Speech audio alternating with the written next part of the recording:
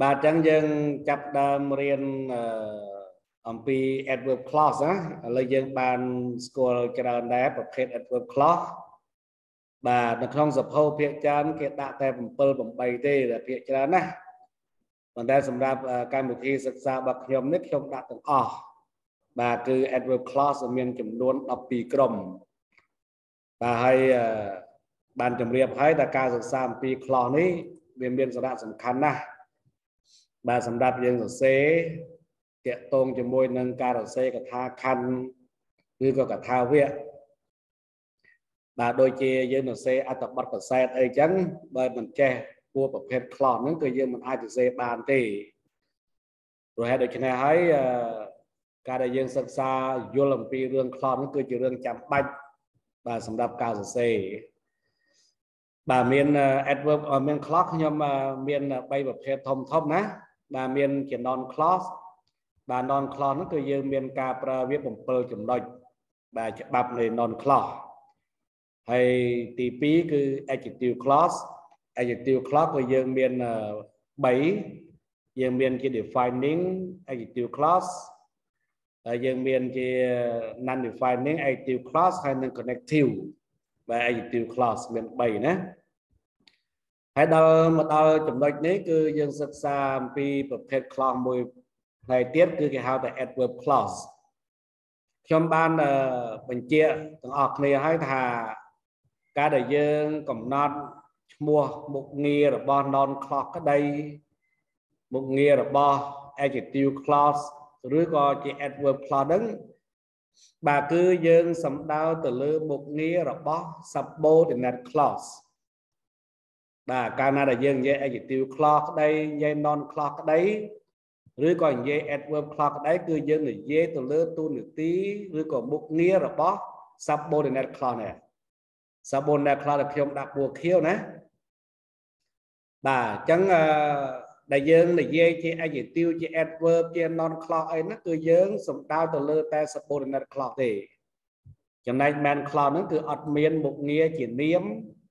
អត់មានមុខងារជា adjective អត់មានមុខងារជា adverb ទេណាតែនេះសូមឲ្យច្បាស់លាស់នៅទាំងអស់គ្នាបាទមែនខ្លោះហ្នឹងដូចខ្ញុំបានបញ្ជាក់អញ្ចឹងវាគ្រាន់តែជារឹសគ្រាន់តែជាគុលដែលយើងប្រើប្រាស់មកដើម្បីឲ្យសបូរណាខ្លោនោះគឺអាចឈរបានអញ្ចឹងសបូរណាខ្លោវាមានប្រធានវាមានកិរិយាសព្ទអីជាធម្មតា ឬក៏យើងនិយាយថាសបូរណាខ្លោនោះគឺវាមានប្រធានវាមាន predicate របស់វាក៏ប៉ុន្តែសបូរណាខ្លោនេះគឺมันអាចប្រើបានទេប្រសិនណាបើអត់មានមែនខ្លោះបាទចឹងហើយបានគេឲ្យឈ្មោះបាទគេឲ្យឈ្មោះ subordinate clause ហ្នឹងគេឲ្យឈ្មោះវាថា dependent clause វាថា dependent clause មានថា clause ហ្នឹងត្រូវពឹងពាក់ បាទគេត្រូវពឹងពាក់អាស្រ័យទៅលើ main clause អញ្ចឹងបើសិនជាអត់មាន main clause ទេ មានន័យថា subordinate clause ហ្នឹងគឺយើងប្រើមិនបានទេបាទហើយរឿងដែលយើងអាចកំណត់សម្គាល់បាទផ្នែករបស់ subordinate clause ហ្នឹងគឺងាយទេបាទនៅក្នុងការដែលយើងអានអត្ថបទក្តីអានជាប្រយោគជា paragraph ឬក៏ជាកថាវគ្គ ដែលយើងកំណត់ថាជា subordinate clause គឺយើងសម្គាល់ទៅលើលបាសឬក៏ប្រយោគទាំងឡាយណាដែលវាជាប់ដោយឈ្នាប់នេះដែលវាជាប់ដោយ conjunction នេះតែមើលឃើញទាំងអស់គ្នាណាចឹងមានន័យថាផ្នែករបស់ប្រយោគណា ដែលមានភ្ជាប់ដោយឈ្នាប់បាទផ្នែករបស់ប្រយោគហ្នឹងគេឲ្យឈ្មោះវាថា subordinate clause ឬគេហៅវាថា dependent clause បើយើងបកប្រែមកអាហ្នឹងគេហៅថា clear enough បាទបើយើងបកប្រែតាមភាសាខ្មែរណា subordinate clause ហ្នឹងមានន័យថា clear enough បើយើងបកទៅតាមភាសាបាលីគេឲ្យឈ្មោះថាអនុប្រយោគបាទអនុប្រយោគមានថាប្រយោគដែលជាប្រយោគរងប្រយោគបន្ទាប់បន្សំហើយចំណែកបាន clause ហ្នឹងភាសាអង់គ្លេសហ្នឹងគេហៅមួយយ៉ាងទៀតគេហៅថា independent clause ឬក៏ហៅថា principal clause បាទ independent clause មានថា clause ហ្នឹងឯករាជ្យ clause ហ្នឹងគឺវាអាចឈរទៅវាបានមានន័យថាវាមានប្រធានវាមានកិរិយាសព្ទវាមានន័យគ្រប់គ្រាន់អាចប្រើតែវាជា single ជា simple sentence đấy ន័យវាមានគ្រប់គ្រាន់ក៏ប៉ុន្តែមិនមែនសិតតែទាំងអស់ទេមែនខ្លះខ្លះក៏យើងមិនអាចប្រើតែម្នាក់វាបានដែរ ប៉ុន្តែវាគ្រាន់ថាដែលភាកច្រើន99%កាលណាដែលយើងនិយាយដល់ពាក្យថា man cloth មេតែ cloth នោះគឺថា can stand alone can stand by itself can stand independently មេថាវាឯករាជ្យវាមិនចាំបាច់ពឹងពាក្យគេទេវាមានន័យគ្រប់គ្រាន់របស់វាអានឹងគេហៅថា man cloth តែដែលសម្បូរនៅ cloth ណាអានឹងវាទាល់តែមាន man cloth ទើបយើងអាចប្រើបានណា ហើយនៅក្នុងនេះយើងមើលយើងអាចផ្លាស់ប្ដូរគ្នាបានផ្លាស់ប្ដូរទីតាំងរវាង man cloth និង subordinate cloth យើងដាក់ man cloth នៅខាងមុខក៏បាន subordinate cloth នៅពីក្រោយក៏បានអានេះជាទូទៅឯភាគច្រើនប៉ុន្តែយើងក៏អាចបដូរណែយើងអាចទាញ subordinate cloth នេះយកមកដាក់ពីមុខ man cloth វិញបាទ ប៉ុន្តែវាមិនមានការផ្លាស់ប្ដូរអត្តន័យទេបាទទោះបីជាយើងប្រើតាមតម្រងខាងលើក្តីប្រើតម្រងខាងក្រោមក្តីគឺវាអត់បដូរអត្តន័យទេ តែអ្វីដែលវាសំខាន់តាកតងជាមួយនឹងការប្រើវណ្ណយុទ្ធមួយ គឺក្បៀសបាទនេះបាទរឿងក្បៀសនេះគឺជារឿងសំខាន់ណាស់នៅក្នុងការសិក្សាតាកតងជាមួយនឹងវណ្ណយុទ្ធជាពិសេសគឺតាកតងជាមួយនឹងការសរសេរ បាទមិនមែនយើងចេះ clause non clause adjective clause adverb clause បើយើងចេះសរសេរដោយគ្មានក្បួនគ្មានខ្នាតទេអាហ្នឹងគឺវាមានតាកតងជាមួយនឹង grammar ពិសេសទៀតគឺវណ្ណយុត្តបាទការប្រើវណ្ណយុត្តហ្នឹងគឺជារឿងចាំបាច់ខ្លាំងណាស់វាខ្លាំងជាងអា grammar ដទៃទៀតនៅក្នុងការសរសេរបាទប៉ុន្តែយើងនឹងសិក្សាទៅណា ចឹងនៅក្នុងនេះយើងមើលទាំងអស់គ្នាកាលណាបើសិនជាយើងប្រើ subordinate clause បាទ clear enough ឬក៏អនុប្រយោគនៅពីមុខមហាប្រយោគជាទូទៅ គឺយើងទៅប្រើក្បៀនេះនៅក្នុងការសរសេរណាបាទដែលជាភាសាមួយគេហៅថាជា formal ឬគេហៅថា written English បាទការសរសេរជាផ្លូវការជាលក្ខណៈ academic កាលណាបើយើងទាញអនុប្រយោគ យកមកដាក់នៅពីមុខមហាប្រយោគអានឹងគឺយើងតប្រើក្បៀក៏ប៉ុន្តែក្បៀកន្លែងនេះខ្ញុំដាក់វងកញ្ចក់មានន័យថាការសរសេររបស់យើងវាអាស្រ័យទៅលើគោលបំណងដែលយើងសរសេរជាលក្ខណៈការងារឬក៏យើងសរសេរក្រៅផ្លូវការបើសិនជាការសរសេររបស់យើងក្រៅផ្លូវការនោះយើងមិនចាំបាច់ទៅប្រើគ្រាទេបាទហើយរបៀបដែលយើងផ្លាស់ប្ដូរផ្លាស់ប្ដូរ តាក់ទងជាមួយទីតាំងរបស់អឺ clause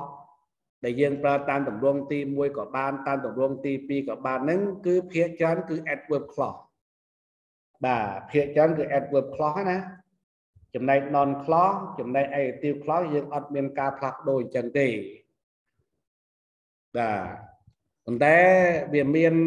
ប្រភេទ adverb clause ខ្លះយើងមិនអាចផ្លាស់ប្ដូរបានទេក៏ប៉ុន្តែភាគច្រើន ដែល adverb clause ភាគច្រើនគឺយើងអាចបដូរទីតាំងរវាង main clause និង subordinate clause អញ្ចឹងបានបាទអូខេអញ្ចឹងយើងមើលទៅក្នុងទីនេះគឺយើងចំណុច adverb clause ទី1គឺយើងតាក់ទងជាមួយនឹង adverb clause of time adverb clause of time នេះវាគ្រាន់តែជាប្រយោគដែលយើងប្រើបង្ហាញតាក់ទងជាមួយនឹងពេលវេលា ដែលអំពើនឹងកើតឡើងនៅក្នុង main clause ឃើញទេបាទ តាមក៏ពិតទៅ adverb of time ធម្មតានិង adverb of adverb of adverb type of ចំទៅ adverb clause of time ហើយនិង adverb phrase of time ក៏វាដូចតែគ្នាទេវាអត់មានអីខុសគ្នាទេវាគ្រាន់តែជាលក្ខណៈមួយជាពាក្យធម្មតាមួយជា clear មួយជា clause តែប៉ុណ្ណោះតែគោលបំណងដែលយើងប្រើបាទ adverb clause of time ក្តី adverb of time ធម្មតាក្តី adverb phrase of time ក្តីគឺគោលបំណងដែលយើងប្រើទី1គឺបញ្ជាក់ន័យឲ្យកិរិយាសព្ទទី2គឺវាបញ្ជាក់ន័យឲ្យ adjective ទី3គឺបញ្ជាក់ន័យឲ្យ adverb គ្នាវាវាអត់មានអីដែលយើងពិបាកយល់ទេនៅក្នុងរឿងហ្នឹងណាអូខេឥឡូវយើងមើលដល់គ្នាមកនេះខយ៉ាងសិនដែលយើងប្រើសម្រាប់ adverb clause បន្ថែមមានដូចជាពាក្យ when ពាក្យ while ពាក្យ as ពាក្យ since ពាក្យ once as an as ឬក៏ as long as ជាដើមបាទនេះដែលជាខនយ៉ាងសិនឬក៏ជាឈ្នាប់បាទដែលយើងនិយមប្រើនៅក្នុង adverb clause បន្ថែមប៉ុន្តែអ្នកទាំងអស់គ្នាក៏ត្រូវតែសិក្សាឲ្យបានទូលំទូលាយដែរយើងមិនមែនឲ្យតែឃើញពួកឈ្នាប់បែបនេះសិតតែជា adverb clause បន្ថែ មទេតែឧទាហរណ៍ដូចខ្ញុំយកពាក្យ when នេះមួយពាក្យ when នេះយើងអាចប្រើនៅក្នុង non clause ក៏មាន យើងប្រើវានៅក្នុង adjective clause ក៏មាន យើងប្រើវានៅក្នុង adverb clause ក៏មានមិនមែនមានន័យថាឲ្យតែឃើញពាក្យ when ហ្នឹងវាសិតតែជា adverb clause បន្ថែមទេបាទអពាក្យ val ក៏អញ្ចឹងដែរពាក្យ val នេះយើងអាចប្រើនៅក្នុង clause ផ្សេងផ្សេងទៀតបាន ដែលយ៉ាងហោចណាស់ពាក្យ val នេះក៏យើងអាចប្រើនៅក្នុង adverb clause ផ្សេងបាទតែដល់អត្តន័យរបស់ថែមវាតាកតងជាមួយនឹងពេលវេលាអាហ្នឹងយើងគិតទៅតាមនឹងទៅសំខាន់គឺយើងមើលទៅតាមជើងប្រយោគតើតើប្រយោគហ្នឹងខ្លោះហ្នឹងវាបង្ហាញតាកតងជាមួយពេលវេលាឬក៏ជាអ្វីអញ្ចឹងយើងសំខាន់គឺយើងផ្ដោតទៅលើជើងប្រយោគទៀតដោយពាក្យ as នេះយើងប្រើបានច្រើនណាស់ ពាក្យ as នេះយើងប្រើនៅក្នុង adjective clause ក៏មាន យើងប្រើនៅក្នុង adverb clause ហើយប្រើនៅក្នុង adverb clause មានច្រើនប្រភេទទៀតពាក្យ as វាអាចទៅជា reason clause វាអាចទៅជា comparison clause វាអាចទៅជា clause ផ្សេងទៀតបាទហើយពាក្យ sin នេះក៏ដូចគ្នាដែរ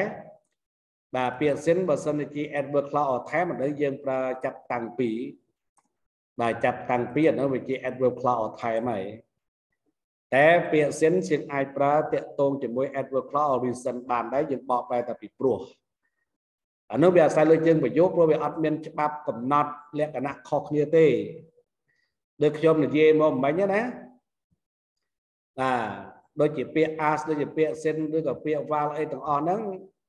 បាទដែលយើងកំណត់ថាវាជាប្រភេទខ្លះបែបណាអានោះវាអាស្រ័យមួយផ្នែកគឺវាអាស្រ័យទៅលើអត្តន័យរបស់ប្រយោគអាហ្នឹងវាវាវារឿងមួយណាក៏ប៉ុន្តែវាមានច្បាប់ខ្លះទៀតគឺវាមានការកំណត់ច្បាស់លាស់បាទដូចជានៅក្នុងអាពាក្យ when clause នេះបាទ when clause ហ្នឹងវាប្រើនៅក្នុង non clause គេមានច្បាប់ដែលត្រូវសម្គាល់ បាទអើ when clause ដែលយើងប្រើជាមួយនឹង adjective clause អាហ្នឹងគឺមានច្បាប់ដែលត្រូវសម្គាល់វាផ្សេងទៅឡើយបាទវាអត់ជាមានលក្ខណៈសញ្ញោគទៅតាមអត្តន័យទេក៏ប៉ុន្តែឆ្លប់ខ្លះគឺវាសញ្ញោគទៅតាមអត្តន័យជើងប្រយោគបាទហើយយើងកំណត់ទៅតាមនឹងទៅអូខេចានេះវាគ្រាន់តែជាការបង្ហាញ list បាទបន្តិចបន្តួចតាក់ទងជាមួយនឹងបាទឆ្នាប់ ដែលគេនិយមប្រើនៅក្នុង adverb clause or time នេះប៉ុន្តែមិនមែនមានតែប៉ុណ្្នឹងទេយើងមានផ្សេងទៀតណាបាទឥឡូវយើងមើលឧទាហរណ៍ដល់អ្នកគ្នាមក that I met my old friend while I was walking to school yesterday បាទខ្ញុំបានជួបបាទមិត្តចាស់របស់ខ្ញុំខណៈដែលខ្ញុំកំពុងតែដើរបាទទៅសាលារៀនកាលពីម្សិលមិញអញ្ចឹងនេះអានេះគឺវាជា adverb clause ហើយ ចាប់ពី val លើកទៅណាហ្នឹងវាជា adverb clause or time ហើយវាបញ្ជាក់ន័យទៅឲ្យកិរិយាសព្ទនៅក្នុង main verb នេះនៅក្នុង main clause នេះបាទមើលទាំងអស់គ្នាណា adverb clause នេះយើងដូចជា adverb ធម្មតាអញ្ចឹងដូចជា adverb all time ឯធម្មតាដូចជា adverb adverb phrase បាទដូចជា adverb phrase all time ឯធម្មតាអញ្ចឹងវាគ្រាន់តែថាវាខុសត្រង់ថាមួយជាលក្ខណៈពាក្យ មួយជា clear មួយជាប្រយោគតែប៉ុណ្ណោះអញ្ចឹងកន្លែងនេះគឺយើងនឹងដើរលើកប្រយោគទាំងមូលលឹងតែម្ដងណាចាប់តាំងពី while I was walking to school yesterday ហ្នឹងទាំងអស់ហ្នឹងដើរតួជា adverb clause ឲ្យថែមវាបញ្ជាក់ន័យទៅឲ្យពាក្យ met ណ៎វាបញ្ជាក់ន័យឲ្យកិរិយាសព្ទបាននៅក្នុង main clause ហើយបើក្នុង main clause ហ្នឹងវាមាន adjective វាបញ្ជាក់ន័យឲ្យ adjective ទៅ ហើយបើសិនជា main clause ហ្នឹងវាមាន adverb អាហ្នឹង clause ហ្នឹងក៏បញ្ជាក់ន័យទៅឲ្យ adverb ចឹងទៅអាហ្នឹងវាតែប៉ុណ្្នឹងណាបាទឬក៏យើងអាចទៅសេមកចេះមកណាបាទយើងអាចទៅសេថា while I was walking to school yesterday I met my old friend បាទបើទោះបីជាយើងដាក់មកអញ្ចឹងក៏ពិតមែនតែអត្តន័យវាគឺมันមានការប្រែប្រួលទេ បាទគេគាត់ថាយើងបានចេះដឹងរបៀបដឹងទៅវាជាការងាយស្រួលក្នុងការសរសេររបស់យើងបាទយើងអាចសរសេរផ្លាស់ប្ដូរទីតាំងគ្នាដើម្បីជៀសវាងការសរសេរដដែលដដែលបាទនឹងវាជាក្បួនរបស់អាកាដមិកណាបាទអាកាដមិកច្បាប់ដែលយើងត្រូវចេះនៅក្នុងការសរសេរមួយគឺជៀសវាងអឺ repetition ណាបាទជៀសវាងការប្រើតម្រង់ប្រើពាក្យប្រើឃ្លាដដែលដដែល បាទអញ្ចឹងហើយបានជាយើងត្រូវសិក្សាតាក់ទងជាមួយ grammar ហ្នឹងគឺឲ្យបានច្រើន structure ឲ្យបានច្រើនបាទពាក្យ clear ហ្នឹងគឺឲ្យបានច្រើនបាទដូចជាយើងរៀនកសែតអញ្ចឹងខ្ញុំដាក់ synonym ជូនអញ្ចឹងតែយើងតចេះគ្រូសុំបាទបាទលោកគ្រូសុំកាត់តិចកន្លែងអហ្នឹងបើយើងដាក់ចេះអាចត្រូវទេគ្រូអាចសរសេរមកបែបទៅមកថា I val I val walk walking into school yesterday អញ្ចឹងទៅអាហ្នឹងយកវ៉ាហ្នឹងដាក់មុខមុខវាស់វិញអាហ្នឹងត្រូវទេគ្រូយើងจะធ្វើម៉េចថាម៉េចបាទថាម៉េចហ៎មានន័យថាយើងយកអាអាវ៉ាល់វ៉ាល់ហ្នឹង I I wow was walking to school គ្រូទេអត់មានទេបាទអត់មានច្បាប់បែបហ្នឹងទេណាបាទអត់តាមហ្នឹងទេ បាទបាទអត់មានទេអត់មានអាចទៅដាក់ណា I wow អញ្ចឹងខុសហ្មងណាហ្នឹងអត់ត្រឹមត្រូវទេណាបាទធម្មតាកន្លែងអបាទបាទបាទបាទបាទថាម៉េចបាទគឺទទួលបានលោកគ្រូបាទបាទព្រោះចេះខ្ញុំសូមបាទបានសួរអញ្ចឹងល្អណាស់សួរបាទអឺតាមធម្មតារវាងយើងតាក់ទងជាមួយរបៀបនៃការប្រើឈ្នាប់ណាបាទរបៀបនៃការប្រើឈ្នាប់ បាទជាច្បាប់ជាគោលការណ៍របស់ឈ្នាប់គឺវាទៅតែនៅចំកណ្ដាលបាទរវាងប្រយោគទាំងពីរបាទនេះនេះយើងត្រូវអញ្ចឹងណាអានេះឥឡូវខ្ញុំសូម highlight មួយថានេះគឺមកប្រយោគហើយចាប់ពីនេះចាប់អាពីពួរលឿងនោះគឺមកប្រយោគអញ្ចឹងកាលណាបើយើងនិយាយខ្លោះកាលណាបើសិនតែយើងនិយាយខ្លោះនៅក្នុងន័យរបស់កម្មវិធីសិក្សាអំពីខ្លោះហ្នឹងគឺយើងនិយាយចាប់ពីពីរប្រយោគឡើងទៅ ហើយពីរប្រយោគហ្នឹងគឺយើងត្រូវយកឈ្នាប់ហ្នឹងទៅតភ្ជាប់បាទដើម្បីឲ្យវាទៅជាប្រយោគតែមួយអញ្ចឹងប្រយោគហ្នឹងតាមតែពិតបើសិនជាយើងទៅសេដាច់បាទបើសិនជាយើងទៅសេមិនមែនជាលក្ខណៈខ្លោទេវាទៅមានខណ្ឌដល់2បាទវាខណ្ឌ I met my old friend ខណ្ឌ1 I was walking to school yesterday ហ្នឹងខណ្ឌ1ក៏ប៉ុន្តែការដែលយើងប្រើខណ្ឌរបៀបនេះអានឹងវាមិនមែនជាភាសាមួយល្អទេ ចឹងហើយដើម្បីកាត់បន្ថយរវាងការប្រើខណ្ឌនឹងច្រើនដង យើងក៏យកសរសេរប្រយោគពីរហ្នឹងឲ្យវាចូលគ្នាខំបាញ់ចូលគ្នាដោយយើងប្រើឈ្នាប់បាទដោយយើងប្រើឈ្នាប់នេះដូចជានៅក្នុង adverb clause យើងហ្នឹងយើងប្រើពាក្យ while ហ្នឹងជាឈ្នាប់ដើម្បីតបយកប្រយោគពីរហ្នឹងឲ្យចូលគ្នាប្រើខណ្ឌតែមួយអញ្ចឹងជាច្បាប់នៅក្នុងអឺ អឺការប្រើឈ្នាប់នេះជាពិសេសនៅក្នុង adverb clause ជាទូទៅគឺឈ្នាប់នោះគឺត្រូវឈរនៅកណ្ដាលរវាងប្រយោគទាំងពីរអញ្ចឹងយើងមិនអាចយើងមិនអាចយកបាយឈ្នាប់នោះទៅដាក់កន្លែងផ្សេងបានទេតែឈ្នាប់មួយឧទាហរណ៍ថាពាក្យវ៉ាល់ទេយើងមិនអាចយកទៅដាក់នៅពីក្រោយអាយអាយវ៉ាល់លើអញ្ចឹងគឺប្រើអត់បានទេ តែបើក្នុងករណីដែលយើងទាញរបៀបការទាញផ្លាប់ដោគឺយើងទាញទាំងមូលមកអញ្ចឹងតែម្ដងនេះនៅបើយើងទាញមកអញ្ចឹងតែមូលតែម្ដងបានតែថាថាឲ្យបដូរយកអាពាកវ៉ាល់យកទៅដាក់នៅកន្លែងផ្សេងទៅគឺដាក់អត់បានទេបាទយើងអរគុណច្រើនណាបាទលោកគ្រូសុំសួរលោកលោកគ្រូសុំសួរ sentence ទី1លោកគ្រូ បាទបាទបាទអឺបាទ sentence ទី1ហ្នឹងបើយើងប្រើ past tense ទាំងអស់បានទេលោកគ្រូយើងចាំបាច់ប្រើ past continuous ទេបើសិនអូចាព្រោះអានេះវាបញ្ជាក់បាទបើសិនជាក្នុងករណីមួយដែលយើងគិតថាអំពើហ្នឹងវាកើតឡើងនៅក្នុងអតីតកាលជាធម្មតាអញ្ចឹងណាយើងអត់បានគិតថាអំពើណាកើតមុនអំពើណាកើតក្រោយ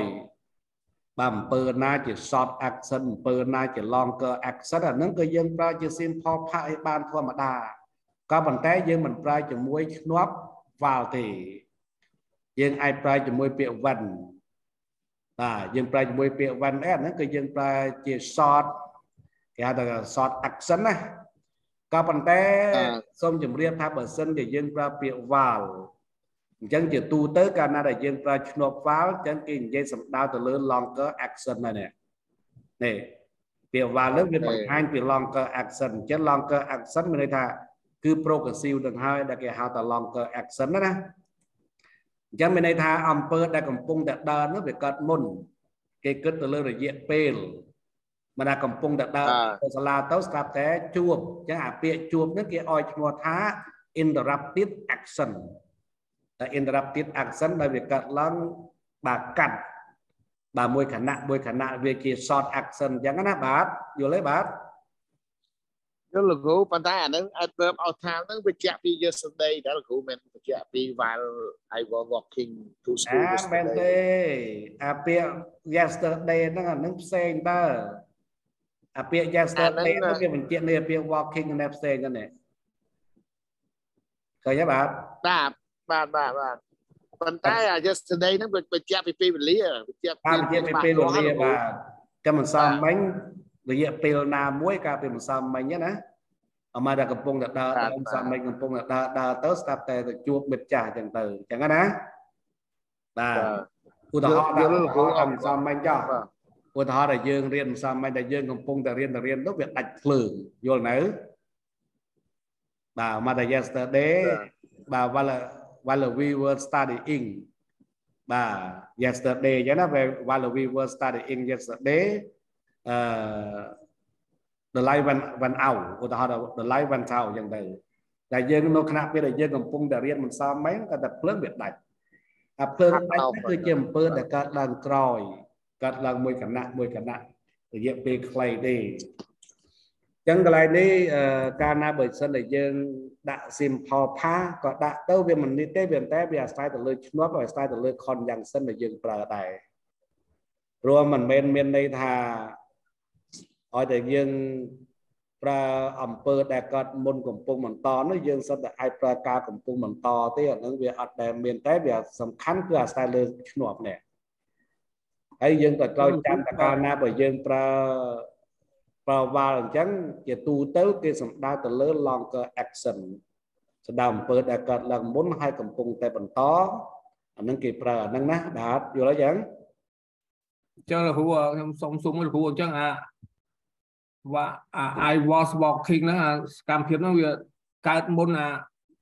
met my own friend បាទកើតមុនអា met ហ្នឹងបាទនៅគណៈពេលដែលខ្ញុំកំពុងតែដើរទៅសាលារៀនកាលពីម្សិលមិញខ្ញុំក៏បានជួបមិត្ត អញ្ចឹងណាអញ្ចឹងអាចជួបហ្នឹងវាកើតឡើងក្រោយយើងកំពុងតែដើរដើរដើរដើរដើរដើរជួបកណ្ដាលផ្លូវអញ្ចឹងណាឧទាហរណ៍ណាបាទបាទបាទមានអីទៀតទេបាទអត់មានលោកយល់ហើយបាទលោកគ្រូសួរលោកគ្រូអរគុណបាទមានអីសាកសួរទៀតអញ្ជើញណាបាទ That immediately after he graduated from high school he passed on by English selection test ចានេះយើងមើល អានេះវាមិនចាំបាច់ទៅការកំពុងបន្តមិនអីទេអានោះវាគ្រាន់តែជាការបង្ហាញពីអតីតកាលធម្មតាវាមិនបានគិតទៅលើអំពើណាកើតមុនអំពើណាកើតក្រោយទេបាទម្យ៉ាងទៀតដែលយើងអាចថាវាអនាគតមុនអនាគតក្រោយវាអាស្រ័យទៅលើឈ្នាប់មានឈ្នាប់ខ្លះដែលវាបង្ហាញប្រាប់ថាអំពើហ្នឹងកើតមុនបាទដូចនៅក្នុងនេះយើងប្រើពាក្យ after ភ្លាមភ្លាមបន្ទាប់ពីគាត់បានបញ្ចប់ បាទបញ្ចប់ការសិក្សាពីវិទ្យាល័យ he passed on English selection test កញ្ញាយ៉ាសេវាខ្សោយទៀតដែរឡូបាទសេវាខ្សោយទៀតទេបាទអត់អីគ្រូលឺវិញដែរគ្រូបាទបាទហ្នឹងហើយអញ្ចឹងអានេះយើងចាប់ពីនេះទៅនេះបាទចាប់ពីនេះទៅរហូតមកដល់ school ហ្នឹងគឺគេឲ្យឈ្មោះថាជា adverb clause បាទ all time ហើយវាបញ្ជាក់ន័យវាបញ្ជាក់ន័យមកឲ្យវា pass on នេះបាទនេះ pass on នេះកិរិយាសព្ទ main verb ណាបាទនៃវាបញ្ជាក់នេះមកឲ្យកិរិយាសព្ទហើយអាពាក្យ immediately នេះយើងគាត់ដាក់ជា emphatic ទេបើយើងមិនដាក់ក៏ហេទៅវាមានការករណីខ្លះគឺយើងបន្ថែម adverb បាទវាយើងបន្ថែម adverb នៅពីមុខ conjunction បានទៀតដូចជា immediately after ចាពាក្យ immediately ហ្នឹងអាហ្នឹងគេឲ្យឈ្មោះថា emphatic adverb ឬក៏ហៅថា intensive adverb បាទដែលយើងប្រើមកគឺក្នុងគោលបំណងដើម្បីសង្កត់បញ្ជាក់ឲ្យកាន់តែឲ្យកាន់តែវាមានន័យហ្នឹងគឺវាខុសពីន័យធម្មតាអមតា after យើងបកបែរតែបន្ទាប់ពីអាពាក្យថា after មួយម៉ាត់ហ្នឹងយើងបកបែរថាបន្ទាប់ពីដល់ឲ្យយើងដាក់ immediately after ហ្នឹងគឺថាវាបន្ថែមកាន់តែ ន័យហ្នឹងគឺកាន់តែសង្កត់ន័យខ្លាំងតែភ្លាមភ្លាមក្រោយពីនេះគេថាអញ្ចឹងណាបាទអញ្ចឹងចាប់វាទាំងអស់នឹងមកដែលខ្ញុំដាក់ highlight ពណ៌លឿងហ្នឹងវាបញ្ជាក់ន័យទៅឲ្យ main verb past tense នេះបាទយើងចង់ទៅសេអាណាមុនអាណាក្រោយក៏បានដែរអត់អីទេបាទ by the time នេះអានេះមួយទៀតដែរបាទ by the time នេះអានឹងគឺជា prepositional phrase ណាបាទក្នុងកន្លែងនេះណាហេ by the time ណា by the time ហ្នឹងវាជា prepositional phrase ប៉ុន្តែយើងប្រើវាជាឈ្នោះវាមាន prepositional phrase ខ្លះយើងប្រើជាឈ្នោះបានទៀតបាទដូចខាងលើយើងយើងមានខាងលើនេះដែលយើងរៀបរាប់មកពាក្យ when ពាក្យ va ពាក្យ a ពាក្យ sin van អីហ្នឹងហើយ a sun a អីទាំងអស់ហ្នឹងវាមានជាពាក្យខ្លះសន្សំពាក្យខ្លះវាជា phrase ទេ ក៏ប៉ុន្តែវាអាចប្រើជាឈ្មោះបានបាទដូចកន្លែងបាយនេះបាយដល់ថែមនេះជា con យ៉ាងសិនអាហ្នឹងណាតែបើយើងនិយាយទៅលើឋានៈពាក្យរបស់វា by the time ហ្នឹង by ហ្នឹងជា preposition ដែរ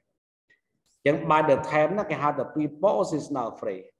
ក៏ប៉ុន្តែកន្លែងនេះវាមិនមែនជា prepositional phrase ធម្មតាទេ វាคล้ายទៅជាឈ្នោះវាคล้ายទៅជា conjunction សូតែហេតុអីបានជាយើងយើងថាវា conjunction យើងហៅថាឈ្នោះ ដោយសារយើងមើលនៅប្រយោគមាន2បាទអានឹងគឺមកប្រយោគហើយខាងក្រោយនេះគឺមកប្រយោគទៀត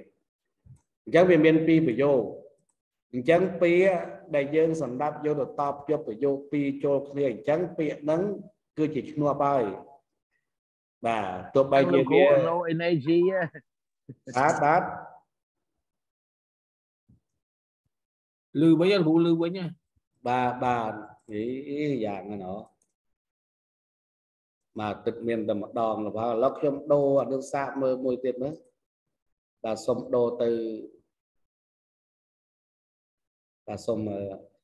ចាំតិចបាទកែលអាមួយនេះវាគ្រាន់បើជាងលឺលឺទៅបាទលឺទេបាទលឺហ៊ូលឺលឺបាទឥឡូវខ្ញុំដូរខ្ញុំដូរសាកមើលទៅមួយទៀតតែ by the time អញ្ចឹងកន្លែងនេះ by the time ហ្នឹង យើងបានមួយទៀតថា by the time ហ្នឹងវាជា prepositional phrase ទេប៉ុន្តែវាដើរតួជា conjunction បាទហើយយើងថាវាជា conjunction បានដោយសារតែប្រយោគហ្នឹងវាមានពីរប្រយោគបាទ I finish this discount ហ្នឹងមកប្រយោគហើយ I will help phone ចប់ហ្នឹងគឺមកប្រយោគទៀតសុំទោសកន្លែងហ្នឹងមិនមែន phone ទេ fine ទេសុំទោសច្រឡំហើយបាទ fine ណាបាទមិនមែន phone ហ្នឹងសូមអធិស្ឋានផង តាំងពីទៅនៅក្នុងមេរៀននេះមានសិនវា phone វាវាត្រូវ wood បាទមិនបានត្រូវជា fine នេះ I will I will have fine ហ្នឹងគ្រូបាទបាទខ្ញុំមើល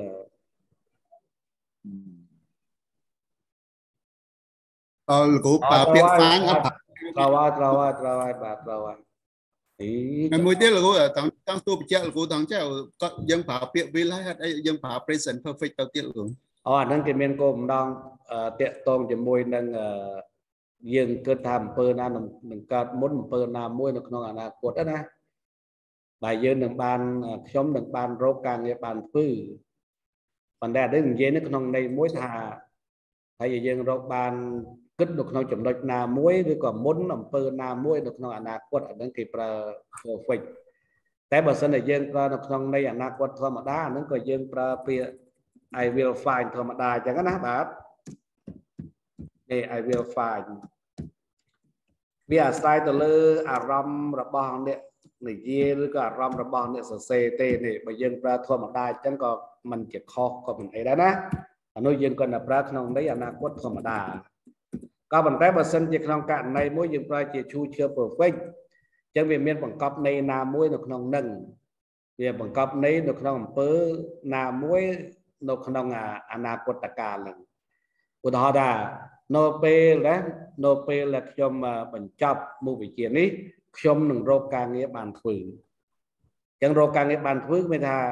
ច្បាស់ជារកការងារបានធ្វើមុនអំពើណាមួយ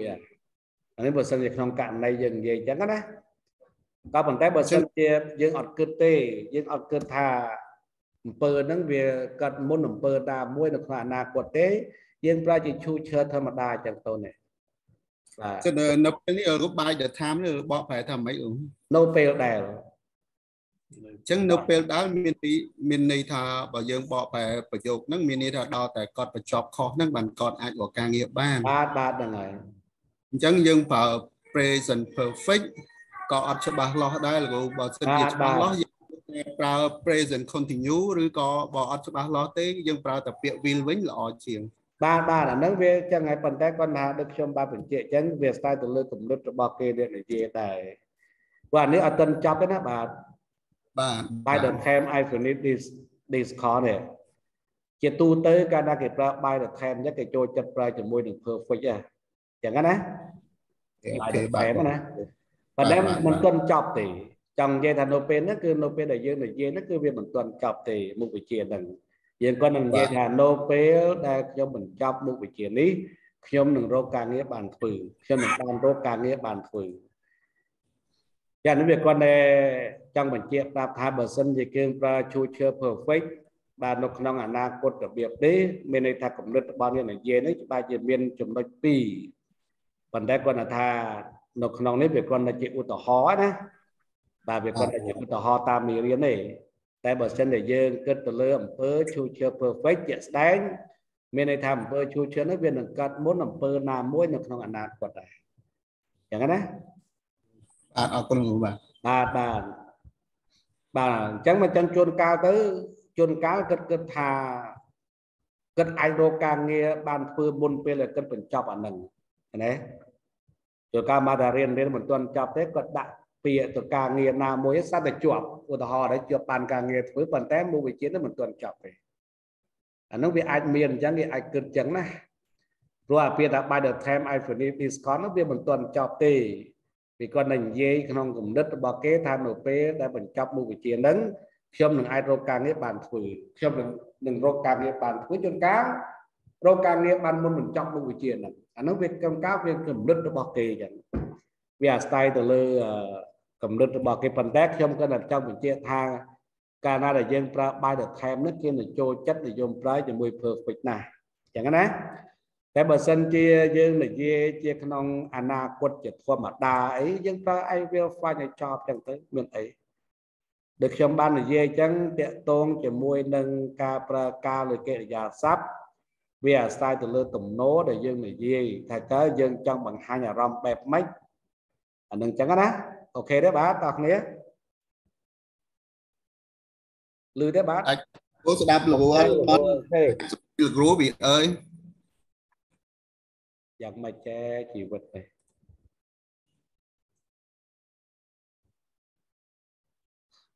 អធិស្ឋានបងលោកគ្រូបើមេយកភ្លៀងលោកគ្រូបាទវា សេវាដោយសារមេឃវាងឹតពេកវារកភ្លៀងពេកទេវាមិនមែនប្រហែលថ្ងៃមកហើយប្រហែលអាទិត្យមករឿងរអួលទៅតែម៉ោងផ្សេងអីអត់អីទេប្រយ័ត្នតែមកបាទខ្ញុំមានស្នងពុំមួយតើលោកគ្រូអាចឲ្យមេរៀនពួកខ្ញុំបានគ្រូវិទ្យាករដែលគ្រូវិទ្យាខ្ញុំជួនទេខ្ញុំឲ្យទេគ្រូឲ្យតាបាទខ្ញុំឲ្យបាទខ្ញុំដាក់ជូននៅក្នុងគ្រូឲ្យបាទអាច អាច scroll ទៅមើលខាងលើទៅឃើញណាបាទលឺទេបាទបងប្អូនបាទលឺដែរលឺបាទបណ្ណាជាស្ដាយផងឥឡូវយើងអស់ពេលបាត់ទៅហើយឥឡូវសូមមើលមួយទៀតសិនណាបាទអរគ្នាបាទបាទបាទបាទនៅក្នុងហ្នឹងតកតងជាមួយនឹងការប្រើការលើសភៅខ្ញុំមានណានៅមេរៀនខ្ញុំមានទាំងអស់តកតងជាមួយការគ្រប់ប្រភេទណាបាទឥឡូវសូមសូមមើលមួយទៀតចឹងណា បាទ my my grandfather had passed away when I was young បាទមិនថាឪពុករបស់ខ្ញុំបានទទួលអនិច្ចកម្មនៅពេលដែលខ្ញុំជីតាជីតាជីតាដល់លោកមកពុកផងអជាតា my grandfather had passed away បាទជាតារបស់ខ្ញុំនោះគឺបានស្លាប់អនិច្ចកម្មនៅពេលដែលខ្ញុំនៅពីក្មេងបាទអញ្ចឹងមានថាអឺនេះយើងប្រើ កន្លែងនេះយើងមើលមកនេះចាប់ពីនេះមកវាដើរតួជា adverb clause ហើយវាបញ្ជាក់ន័យអស់សំទោសច្រឡំនេះខាងនេះអីរវល់តែរឿងអ៊ីនធឺណិតគិតតែរឿងអ៊ីនធឺណិតណាចង់ចង់បីសើបាទ when I was young ហ្នឹងបាទ when I was young វាជា adverb clause all time វាបញ្ជាក់ន័យឲ្យ pass away ណាបាទហ្នឹងវាជា phrasal verb ទេ pass away ហ្នឹងបាទ pass away ហ្នឹងគឺជា phrasal verb បាទ បើសិនតែវាមានជា adverb អញ្ចឹងវាបញ្ជាក់នៅ adverb ទៅធម្មតាអញ្ចឹងទៅបើមិនតែមានជា phrasal verb វាបញ្ជាក់នៅ phrasal verb អញ្ចឹងទៅណាអឺអធិស្ឋានផងដោយសារអស់ពេលបាត់ហើយបាទដាច់គីឡូហើយបាទបងប្អូនបាទមិនមិនចាំបាទលោកគ្រូអរគុណបាទថ្ងៃបន្តទៀតបាទបាទជំរាបលាលោកគ្រូបាទបាទសួស្តីហ្នឹងហើយបើសិនយើងចំណោទចាំ